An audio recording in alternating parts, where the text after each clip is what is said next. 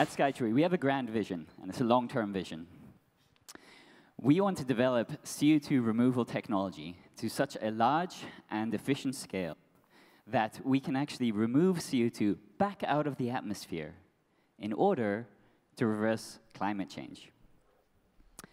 But in the meantime, we have a slightly more nearer term and tangible business case that's going to positively impact all of us. And it's very simple.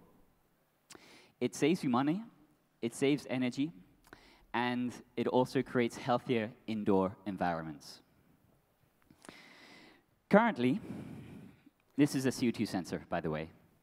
Currently, in this room, the CO2 level is about 700 ppm. It was actually about 1,000 back there, because it was more crowded. Um, but that's one and a half, two times what is the outside air, air level right now. And um, CO2 buildup creates tiredness. It creates a lack of concentration. And it can generally be adver uh, adver have adverse impacts on your uh, nervous system. So this is basically now sitting right here, right now, in this hall, you're almost susceptible to damaging your health than if you're sitting outside. So uh, what is um, Skytree's solution? So to basically the current um, uh, air conditioning systems, they flush uh, the CO2 out with outdoor air. This has two problems. The first problem is by doing this, you're bringing in pollution from the outdoor air, uh, which actually creates even worse uh, indoor environment.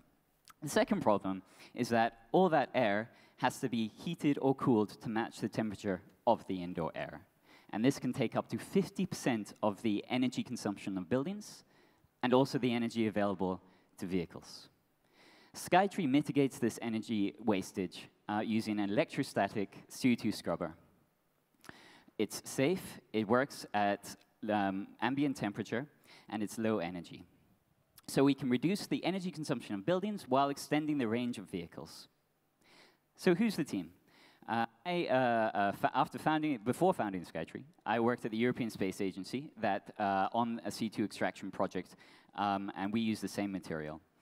Our CCO is a former clean tech entrepreneur who exited a solar power company. We have four patents on the process, uh, and I'm happy to announce for the first time today, actually the second time today, but the first time this date, that we're collaborating with Jaguar Land Rover to Jaguar Land Rover to develop our CO2 extraction technology for their vehicles. So uh, we've currently raised 600,000 euros in capital already. We're raising a Series A at the moment, and we would love to talk to you about lower energy consumption, positively impact health, and in the long term, drive a carbon negative society. Thank you.